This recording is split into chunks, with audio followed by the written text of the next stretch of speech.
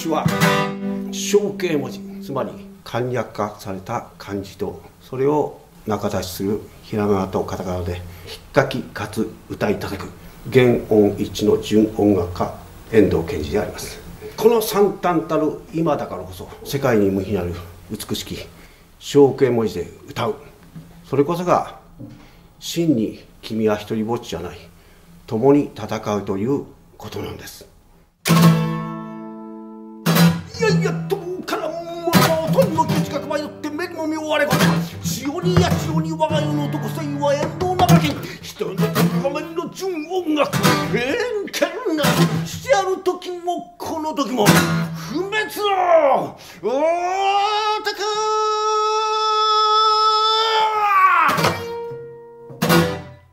高栗原市栗駒の六日町商店街のカフェ海面小屋で来たる3月26日遠藤賢治純音楽演奏会を死のふるさと栗駒で歌うを開催するぞ